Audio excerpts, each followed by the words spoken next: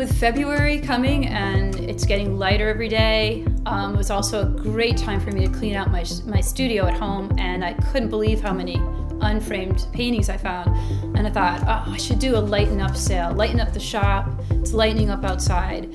And uh, the Free Press contacted me and it just seemed like a no-brainer. And to have a full page ad, it makes such an impact. And I felt like when I looked through the paper, sometimes you do an ad and you're looking for your ad, but this time it was like, oh, there we are. And it was just, it had such a good impact.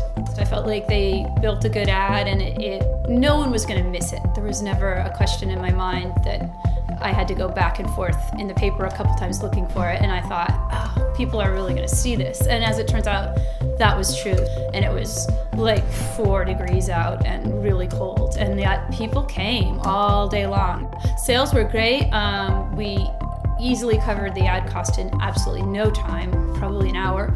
And uh, it was really worth me organizing it and, and getting to clean out my shop and then having, having this great opportunity. Um, I think my favorite story was a woman came in, she said she had gotten up Sunday morning walked downstairs and the free press was open to my ad with a cup of coffee on it and her husband had written a note saying you should go to this and she came think working with a free press right now is is really easy. They're flexible about my timing so i've been really pleased